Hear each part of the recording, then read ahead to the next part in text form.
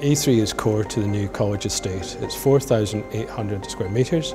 The total development cost was circa 80 million pounds and it has five core areas which are business incubation, catering, project-based learning, renewables and media. All of these areas are state of the art, the best in sector.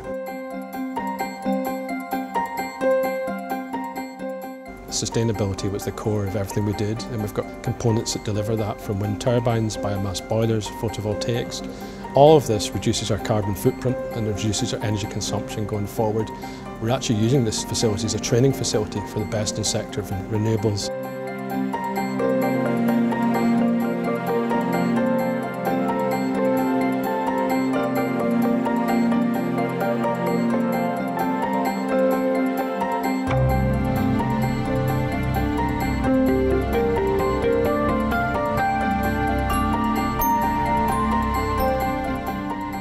Design is at the heart of what we do. Is we just wanted to produce an exciting environment that was the best for our learner and best for the entrepreneurs and for business going forward.